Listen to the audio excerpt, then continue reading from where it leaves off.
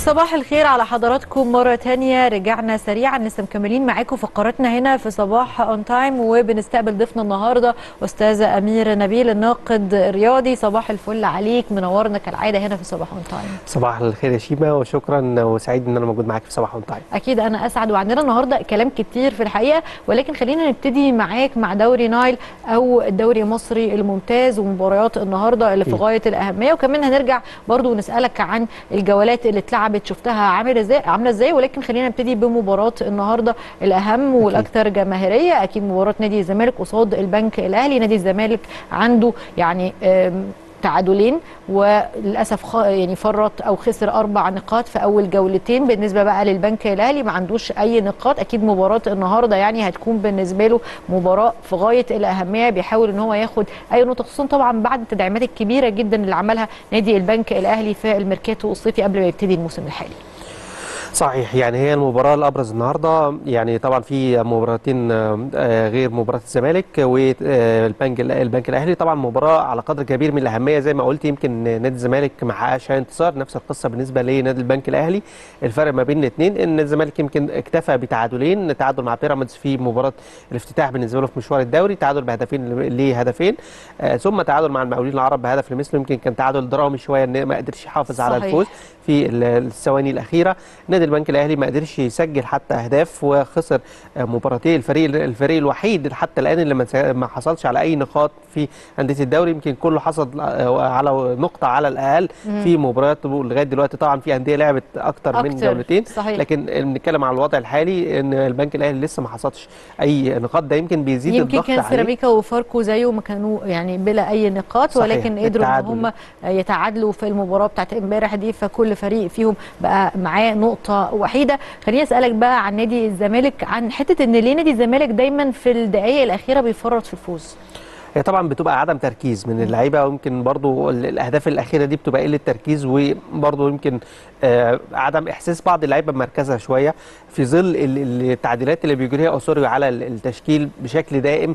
آه يمكن دايما بنشوف إن هو بيبتدي بتشكيل ثم الشوط الثاني بينزل بتشكيل ثاني مختلف أو صحيح. بيلعب بي- بيدي يعني تغييرات كتير قوي اللي بيعملها المدير الفني الكولومبي مع نادي الزمالك. ويمكن عشان كده البعض بيطالبوا شوية بحتة ثبات التشكيل. يمكن النهارده ممكن برضو نشوف بعض التغييرات مقارنة بالمباراه اللي فاتت. وده يمكن وضع كده كان بيدفع بالكثير من عناصر الهجوميه اللي كانت عنده. برضو بعض الغيابات عن قائمة نادي الزمالك النهارده يمكن أبرزها يوسف أوباما يمكن غياب محمد عبد الشافي يمكن دي برضو من العناصر آه، اللي آه، بتغيب عن مباراة النهارده لكن صحيح. ممكن يبقى فيه برضو بعض التعديلات على التشكيل اللي هنشوفها النهارده. طيب خلينا نتكلم عن الدفعة المعنوية اللي أكيد حصل عليها لعيبة نادي الزمالك بعد مباراة أرتا سولار. المباراة كانت كبيرة جدا وكانت أكيد يعني مش الفوز بس ومش آه، يعني تخطي المجموعة دي كان يعني أكبر حاجة حصل عليها نادي الزمالك. ولكن فكرة الفوز الكبير ده وإن يعني لسه في أمل لو لعبنا لو اجتهدنا هنقدر إن إحنا نوصل اللي إحنا عايزينه. الحاله المعنوية اتغيرت بالنسبة للعيبة نادي الزمالك بعد المباراة دي؟ واتفق معاك طبعا هو الحالة المعنوية بتبقى مهمة جدا في المرحلة دي. يعني خلينا نتفق بس الأول إن نادي الزمالك تغلبه على ارتا سولار ده كان المفروض طبيعي ومنطقي طبيعي إن هو ما يدخلش في السيناريوهات دي. ولكن يعني ظروف المباراة آه، صعبت عليه المهمة شوية صعبت على لعيبة المهمة إن هو خسران في الذهاب بهدفين آه، مقابل لا شيء ثم يستقبل هدف في أول 16 دقيقة هنا. صعبت الأمور تماما بقى مطالب إن هو يسجل أربع أهداف. الروح اللي كانت عند اللعيبة في الشوط الثاني والشكل بقى أفضل شوية يمكن ده يدي دفعة معنوية شوية إن الأمور ممكن تبقى أفضل لو أنت اجتهدت أكتر في الملعب لو أنت كان تركيزك إن أنت تكسب تركيزك إن أنت تسجل هدف واثنين وثلاثة آفة من أو يعني السلبيات اللي بتواجه نادي الزمالك إن هو بيبقى فيه نوع من التشبع والاكتفاء شوية. صحيح. يمكن إن أنا بسجل هدف خلاص ال- الأمور بالنسبة لي حسمت فعشان كده بيبقى بدي فرصة للمنافس بتاعي دايما إن هو يخش في المباراة يبقى عنده فرصة إن هو يتعادل معايا وليه لأ إن هو يعني يعمل نتيجة إيجابية. فدي يمكن مشكلة دايما في نادي الزمالك وكتير من الأجهزة الفنية المتعاقبة على تدريب الفريق بتحاول تحلها. ولكن يعني مهم جدا إن أنت تستفيد من كل حاجة. إيجابية. أي نتيجة إيجابية أنت حققتها. حتى ولو نتيجة منطقية بالنسبة لك إن أنت تهزم ارتا سولار آه، برباعيه فلكن لازم تستفيد من المعنويات والدفعه المعنويه شفنا كان شكل الجمهور كمان عامل إزاي. صحيح. أكيد ده آه، جمهور متعشم أو يعني متوسم في إن الفريق يقدم نتائج أفضل وأداء وشكل مستوى أفضل في الفترة الجاية. صحيح. طب عايزين نتكلم عن محمود علاء. يعني محمود علاء ما لا شك فيه إن هو واحد من أفضل المدافعين. الموجودين في الدوري المصري الممتاز. خرج من نادي الزمالك راح للاتحاد السكندري الموسم اللي فات ولكن بعد أداء يعني مميز جدا خلال الموسم صحيح. اللي فات الكل بقى ابتدى ينادي إن هو ليه أصلا محمود علاء خرج فبالتالي رجع مرة تانية لصفوف نادي الزمالك. سمعنا عن مشكلة حصلت في المباراة اللي فاتت دي إن محمود علاء عارف إن هو مش هيبتدي فدخل في مشادة كلامية مع مدير الكورة ومما أسفر عنه طبعا إن هو تم استبعاده من معسكر آه، الفريق في المباراة دي. ولكن دلوقتي سمعنا عن إن خلاص محمود علاء تم العفو عنه. قولي- قولي بقى الكواليس بتاعت العفو دي كانت عاملة إزاي ومدى أهمية كمان اللاعب من وجهة نظرك في صفوف نادي الزمالك وكمان تواجده خلال المباراة بتاعت النهارده مباراه البنك الأهلي. تمام. يعني هو ما فيش شك طبعا محمود علاء من اللعيبة ال- ال- الكبيرة في نادي الزمالك. نقدر نقول في الفترة اللي قضاها في صفوف نادي الزمالك خلاص بقى من اللعيبة اللي تقدر يعني تعتمد عليها. اللعيبة اللي عندها خبرات بشكل واضح سواء خبرات دولية مع منتخب مصر أو منتخبات الشباب خبراته مع نادي الزمالك. كل ده آه، بيديله يعني آه، يعني أفضلية في دفاع نادي الزمالك خاصة في الحالة اللي عليها دفاع نادي الزمالك. فبالتالي زي ما بتقولي كانت عودته بعد فترة الإعارة للاتحاد السكندري كانت مهمة إن هو يبقى موجود في الفترة دي أكيد. وإن هو يبقى إضافة قوية للدفاع خاصة في غياب محمود حمدي الونشي اللي بيقترب شيئا فشيئا من العودة للمشاركة مع نادي الزمالك لكن يمكن. آه بالظبط يمكن محمود علاء يمكن القصة كلها كانت سوء فهم طبعا في التدريبات لكن طبعا مش مطلوب إن يبقى فيه انفعال أو نرفزة صحيح إن كله متحمس كله عايز يبقى موجود أكيد. آه لكن طبعا هي قرار الجهاز الفني هو لازم يحترم. هو اللي لازم يحترم سواء في التقسيم يعني الموضوع لم يخرج عن كونه إن هو قرار في التقسيمه إن هو استبداله بحسام عبد المجيد في ال- التقسيمه لأن ولكن متعود إن هو خلينا متفقين إن ده فعلا بيبان اللعيبة بتبقى عارفة من التقسيمه طبعاً بيعرفوا. جدا هيكونوا موجودين في المباراة اللي جاية حصلت قبل كده. طبعا حسام عبد المجيد لما عرف إن هو خارج مباراه بيراميدز في آه، البداية يمكن برضو كان آه، غضب ان هو كان آه، ما كانش موجود في الجولة الثانية طبعا يعني يمكن ده برضه بيخلينا آه، يعني بيدي انطباع للاعب ان هو أنا بره حساباتك ال- الجهاز الفني صحيح. ولكن الموسم طويل لسه كله هيشارك لسه كله أكيد. هيبقى موجود لكن كان في طبعا خلينا برضو نتفق إن فعلا يعني من حق كل لاعب إن هو يكون زعلان إن هو مش هيشارك إن هو مش هيكون موجود في التشكيل الأساسي خصوصا لو هو لعيب كبير زي ما. بنتكلم عن مح- محمود علاء ولكن في النهاية برضو يعني فكرة إن الموضوع يتطور لغاية مشادة كلامية مع مدير كورة أو يعني ده حتى في الكورة زي ما حلو. بيقولوا كده قلب وشه قلب وشه دي لوحدها اللي هو ما بيعملش حاجة ما اعترضش ما فتحش بقه ولكن واضح من شكله إن هو زعلان في مديرين فنيين بيزعلوا إن اللاعب قاعد وزعلان أنت كده يعني مش مش بتساندنا مش بتساعدنا قلبة وشك دي ممكن يكون أثرها سلبي علينا. ولكن لما الموضوع يوصل كمان لمشاهده كلاميه الموضوع كده بيبقى كبير. هو طبعا مش مقبول خالص. يعني ده اللي إحنا متفقين عليه. وحتى يمكن محمود علاء نفسه اعتذر للجهاز الفني والموضوع تم احتوائه لكن هي كانت المشكلة في إيه؟ إن توقيت إن أنت يعني تعمل أزمة في الوقت ده ما كانش مناسب ما جدا. كانش مناسب، أنت كان صحيح. عندك مباراة مهمة جدا. ويمكن خليني أقول لك برضو إن محمود علاء كان من الركائز الأساسية كان ممكن يعتمد عليها آه، آه، اسوريو في المباراة لأن هو كان طريقة اللعب كانت مبنية إن هو مش عايز تكتل دفاع كتير عايز يعني يبقى أكبر عدد من اللعيبة اللي اللي بتأدي مهام هجومية موجودة. فبالتالي محمود علاء من اللعيبة القليلة يمكن خليني أقول لك في الدوري المصري بتعمل كرات طولية بشكل جيد. صحيح، صحيح. فبالتالي ده كان هيديله ميزة إضافية إن هو ممكن يبقى موجود سواء ابتدى المباراة أو ما ابتداش لكن في النهاية المفروض في الوقت ده الل- اللعيبة تبقى كلها روح واحد خليني برضه أقول لك إن شيكابالا كان له دور في إن الأمور يعني يتم احتوائها بشكل سريع. هو قائد الفريق برضه حاول أكيد. تقريب وجهات النظر وطبعا كابتن عبد الواحد السيد مدير الكرة تفهم الموقف بشكل كبير وتم التوافق والاعتذار للجهاز الفني وكابتن مدحت عبادي ومستر سوريو. وبالتالي شفنا علاء موجود في قائمة الزمالك لمباراة الأنك- الأهلي وممكن يبقى بشكل كبير جدا موجود في تشكيل النهارده. طيب. خليني أسألك هل ممكن نشوف إن اسوريو بيديله النهارده الفرصة إن هو يشارك أساسي ولا لأ؟ وارد جدا. يعني هو كان في اتجاهين لغاية ال- التدريبات الأخيرة كان في اتجاه إن هو الإبقاء على ثنائيه محمد عبد الغني ومصطفى الزناري ولكن يعني برضه شايف إن ممكن يبقى محمود علاء له آه، فرصة للمشاركة. طبعا مع وجود حمزة المسلوسي مع وجود أحمد فتوح كل دي العناصر اللي, متوقع إنها تشارك بشكل أساسي. يمكن برضه بعض التغييرات اللي قد تطرأ مش مش بس على الدفاع على الشكل الهجومي كمان ممكن إبراهيم نداي يشارك بشكل أساسي في غياب آه، يوسف أوباما بس طبعا بخلاف وجود طبعا سيف الدين الجزيري كمهاجم أساسي مع وجود زيزو مع وجود آه، شيكابالا آه، يمكن دي العناصر اللي هيعتمد عليها بشكل كبير اسوريو في مباراة النهارده فبالتالي صحيح. في احتمال كبير إن مو- يبقى موجود محمود علاء لأن خلاص ده برضه هيدي مؤشر إن الأمور بيتم احتوائها ومفيش أزمات أكيد. بت- بتستمر يعني أكيد طيب خليني أسألك عن اسوري المدير الفني لنادي الزمالك كلام كتير جدا طلع الفترة اللي فاتت دي عن إن في احتمالية كبيرة إن اسوري ما يكملش مع نادي الزمالك الفترة الفترة آه، اللي جاية وده بسبب النتائج اللي غير يعني آه، مرضية بالنسبة لجماهير نادي الزمالك وأكيد بالنسبة يعني آه، لإدارة نادي الزمالك برضو في الوقت الحالي. شايف الكلام ده حقيقي ولا ممكن يكون في كلام تاني؟ هو طبعا بنسبة كبيرة برضو ال- ال- التقييم أي مدير فني بيبقى بناء على النتائج. أنا في النهاية حتى لو بقدم أداء جيد والنتائج مش مساعداني يعني برضو التاريخ ما يفتكرش غير بالظبط. آه يعني. فيعني تخيلي بقى لو الأداء برضو مش مقنع قوي. والنتائج مش أحسن حاجة صحيح إن إحنا قلنا وكررنا كتير جدا إن اسوريو بنلتمس ليه العذر في كتير من المواقف اللي فيها نادي الزمالك القايمة عدم وجود قيد آه، اللي- الصفقات اللي طلبها ما اتحققتش كل دي ظروف معاندة لأي جهاز فني ولا أي. مدير فني أنت بتلتمس له العذر ولكن ما بتلتمسلوش العذر لأنه هو خلاص يعني الجزء اللي لا تلتمس له العذر فيه إن هو آه، خلاص عارف ال squad بتاعه وشغال عليه لأكتر من ست شهور. فبالتالي ما فيش وقت إن أنت يعني تبتكر حاجات جديدة. أنت عندك صحيح. نفس وبعدين العناصر إحنا برضو بنتكلم عن نادي الزمالك بنقول مفيش تدعيمات ومفيش لكن برضو بيظل نادي الزمالك عنده squad. قوي. طبعا. طبعا. لعيبة من أفضل اللعيبة اللي موجودين في الدوري المصري الممتاز. ففكرة صحيح. حجة إن إحنا بس مشكلة القيد فدي أنا شايفة يعني إن هي مش هي أفضل حاجة بالنسبة لنادي الزمالك بل بالعكس نادي الزمالك عنده squad قوي جدا عنده لعيبة على أعلى مستوى صحيح. عنده لعيبة اللي هو تصنيف ال A class في اللعيبة. فيعني فكرة آه، إن إحنا هنكون شوية نتكلم عن القيد وعن أسوريو وعنده مشكلة هي القيد فأنا مش شايفة إن هي دي أفضل حاجة هي تيشيرت نادي الزمالك نفسه يعني الأندية. الكبرى عموما بتدي يعني ثقة للاعب اللي بيلعب فيه يعني فدي كافية إنها تخلي الأمور أفضل حتى لو آه، قصة ال- وبعدين هو ده الوضع الحالي هو ده الأمر الواقع هو شغال على إيه؟ كده. فبالتالي يعني فكرة إن اسوريو ممكن يبقى مش موجود الفترة الجاية دي طبعا كل ده الأمور مرهونة بفكرة الانتخابات وطبعا يوم 20 أكتوبر انتخاب مجلس إدارة جديد. فكل ده هيبقى في إيد المجلس القادم لأن اللجنة الحالية طبعا برئاسة الدكتور عماد المداني اللجنة الثلاثية يعني أعتقد برضو مش هيبقى في تسرع إن أنا الأمور الكبيرة قرار. كلها مأجلاها لغاية بالظبط. ما يكون في صحيح. آه، مجلس إدارة منتخب بالنسبة لنادي الزمالك حتى لو كنا بنتكلم عن الملفات الكبيرة جدا زي طبعا. احتراف زيزو زي آه، فتوح فتوح وعقد وكل الكلام ده يمكن تم آه، تأجيله لغاية ما يكون في مجلس إدارة منتخب بالنسبة لنادي الزمالك تعالى بقى نتكلم كمان عن المباراتين التانيين اللي موجودين النهارده في الجولة الثالثة من الدوري المصري الممتاز أو دوري النايل.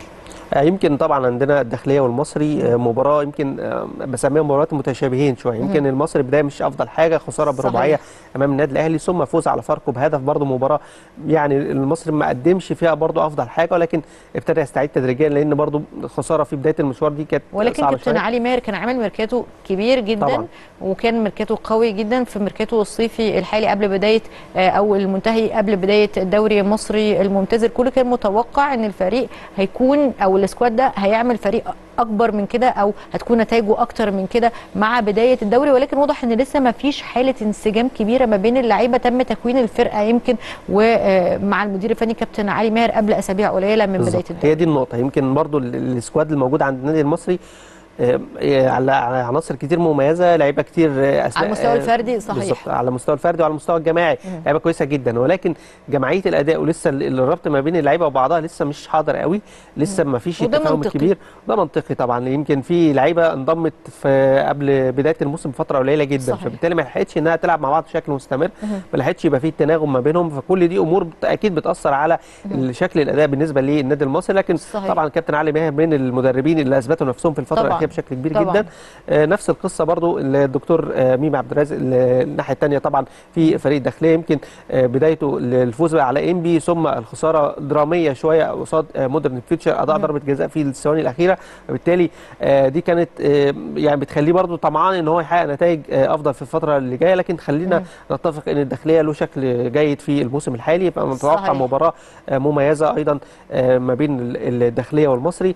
طلائع الجيش ومودرن فيوتشر برضو آه، يعني يمكن مودرن فيوتشر الفريق الوحيد حتى الآن ال- طبعا بخلاف النادي الأهلي اللي يمكن لعب مباراة واحدة مودرن فيوتشر الفريق الوحيد حتى الآن المرشح إن هو يستمر بالعلامة الكاملة كل الأندية لم تستطع إنها تحقق ثلاث انتصارات اللي لعبت ثلاث جولات صحيح. مودرن فيوتشر يمكن زاد. ابتدى بانتصارين ولكن تعادل بعد كده. المباراة الثالثة. أو في الجولة الثالثة تعادل نفس الموضوع بقى بالنسبة لفيوتشر ابتدى بتعادلين ولسه إحنا مستنيين أو في انتظار نتيجة النهارده عشان نعرف في بالظبط. الجولة الثالثة هيقدر يحافظ على العلامة لكن طبعا. بيواجه منافس قوي طلائع الجيش يمكن آه، فاز في المباراة الأولى على البنك الأهلي آه، فبرضه يعني تعادل في المباراة الثانية عنده ثقة عنده آه، استعداد إن هو يقدم موسم أفضل طبعا من الموسم اللي فات اللي ما كانش أفضل حاجة بالنسبة له فبالتالي نتوقع أيضا إنها تكون مباراة قوية ما بين ال- الفريقين ونشوف إيه اللي ممكن يقدمه لأن يعني. ابتدينا في الدخول في أجواء دوري نايل إن إحنا نشوف طبعا مستويات جيدة من اللعيبة كل عايز. يثبت نفسه في بداية الموسم كله صحيح. عايز يوصل لمركز أفضل ويبتعد عن ال- المراكز ال- ال- الخطر مبكرا يعني أكيد طبعا يمكن الدوري في الموسم الحالي دوري النايل أو الدوري المصري الممتاز ابتدى بداية قوية جدا كلها حماسة كلها يعني متعة بالنسبة.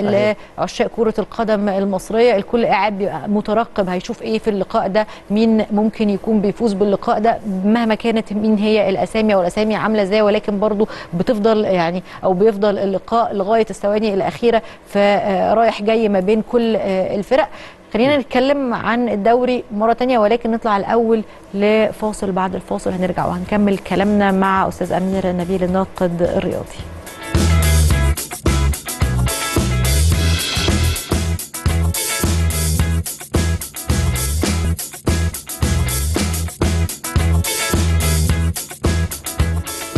رجعنا سريعا لسه مكملين مع حضراتكم فقراتنا هنا في صباح ON Time ولسه مكملين مع ضيفنا النهارده أمير نبيل الناقد الرياضي. صباح الفل عليك مرة تانية. ولسه كنا بنتكلم عن الدوري المصري الممتاز وعن أندية الدوري المصري الممتاز وكنا بنتكلم كمان عن اسوريو ومصيره في الفترة القادمة. طيب لو افترضنا في حالة رحيل اسوريو عن نادي الزمالك تشوف مين هو المرشح الأقوى اللي هيكون خليفة لاسوريو مع نادي الزمالك؟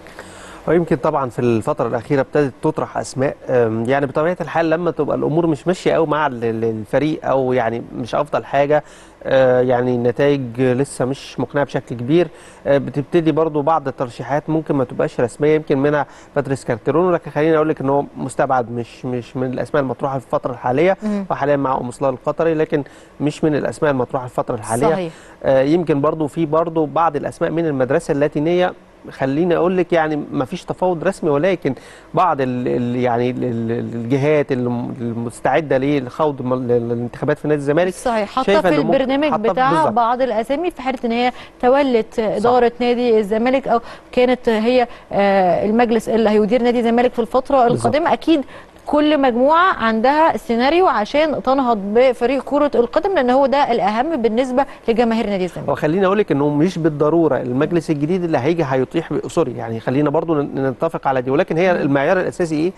النتائج هتمشي إزاي؟ أنا برضو صحيح. مدير فني الاستقرار مهم جدا الاستقرار الفني مهم لأي فريق. وبالتالي لو شاف الأمور ماشية بشكل أفضل مع اسوريو وابتدت تتحسن من دلوقتي لحد يناير ممكن الأمور آه، يعني تسير في مصلحة بقاء المدير الفني. لكن أكيد كل جهة أو كل مرشح أو كل جبهة مرشحة في انتخابات الزمالك ليها ال- يعني السيناريو اللي ماشي عليه أو ال- ال- ال- يعني ال- ال- ال- الملف اللي شغال عليه في كل ال- ال- الألعاب مثلا في كرة القدم في على مستوى الإنشاءات على مستوى النادي بشكل عام. بالتالي لما تبدأ من يوم 21 أكتوبر تبدأ مهام عملها تبقى تبتدي تشتغل على الملفات دي بشكل طبيعي وما يبقاش فيه أي ديلي أو أي تأجيل للشغل على الملفات خاصة إن طبعا ملف كرة القدم ده بيشغل قطاع كبير صحيح. جدا من نادي الزمالك من جماهيره أعضاء الجمعيه العمومية أو الجماهير بشكل عام. فبالتالي أكيد في الحسبان فكرة الجهاز الفني ومصيره فيما بعد الانتخابات.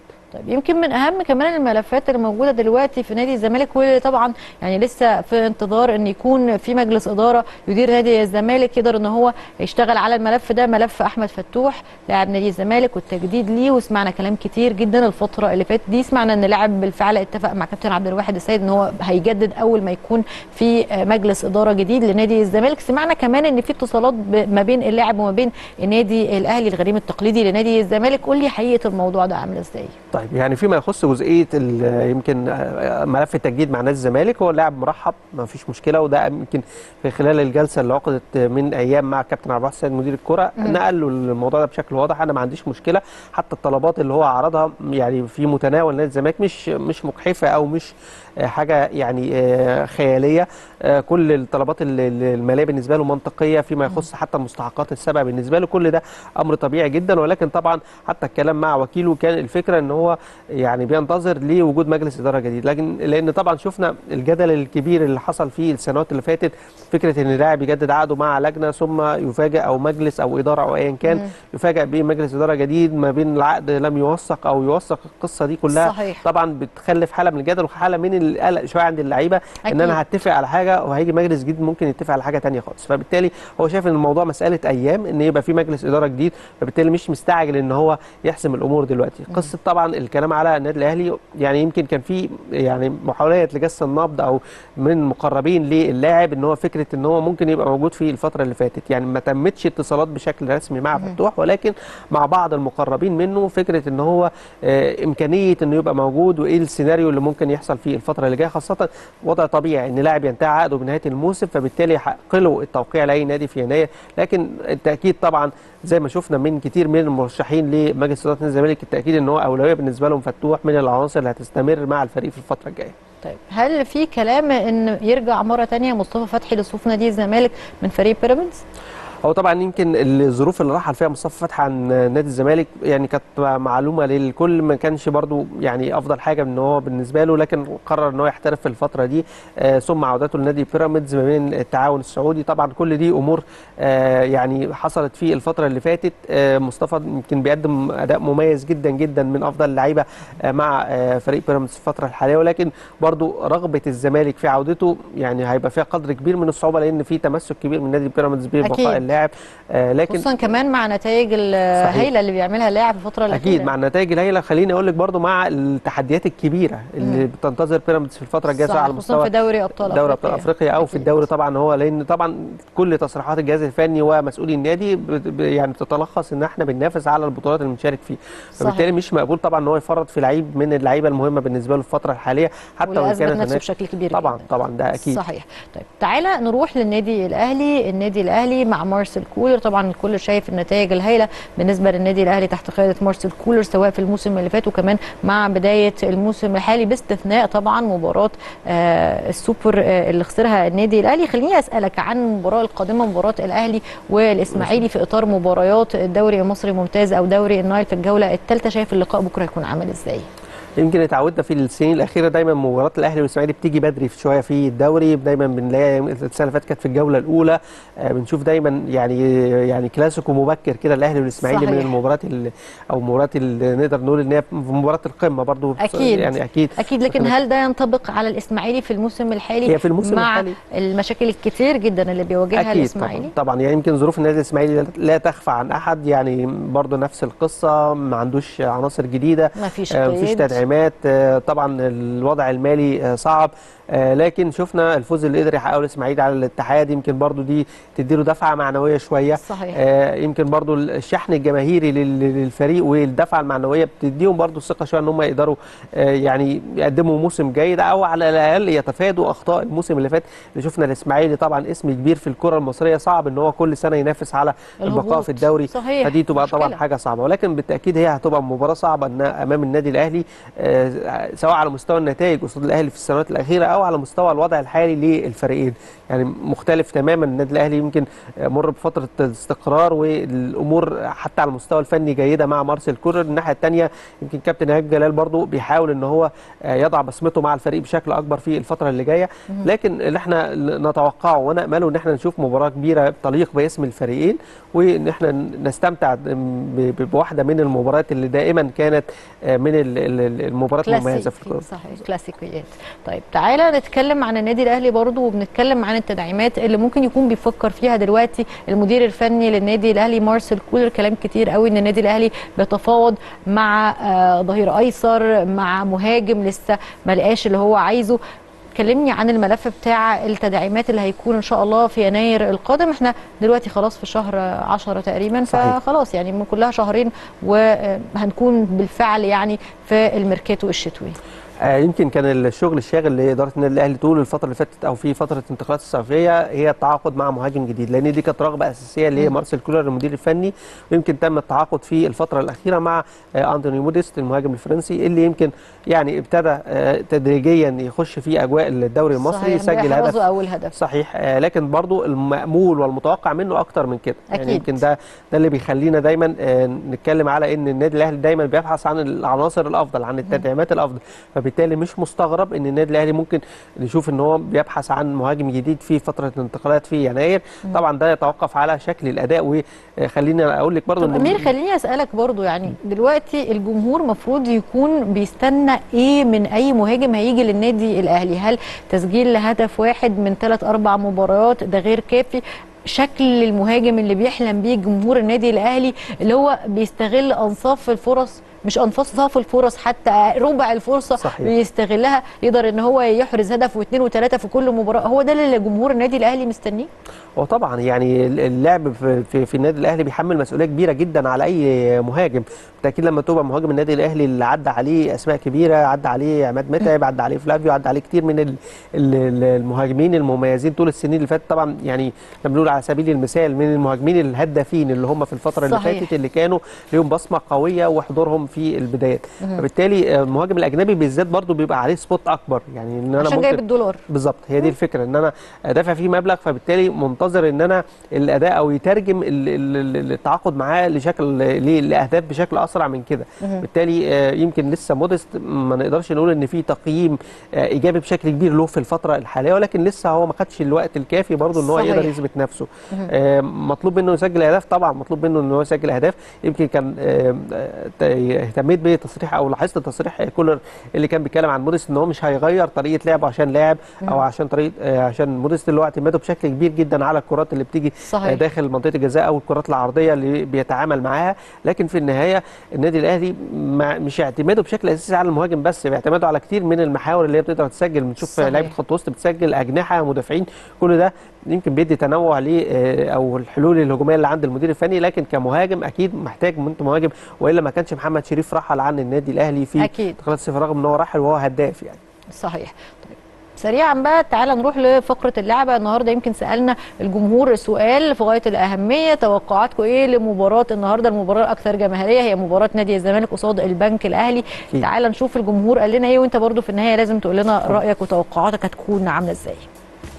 طيب دلوقتي محمد أنور شايف إن آه، الزمالك هيفوز على البنك الأهلي بنتيجة 2-0 صباح الفل كمان عليك يا محمد. ورحمة آه، بتقول أتوقع فوز الزمالك على البنك الأهلي بنتيجة 1-0 كمان عمر جودة بيقول صباح الخير صباح الجمال عليك.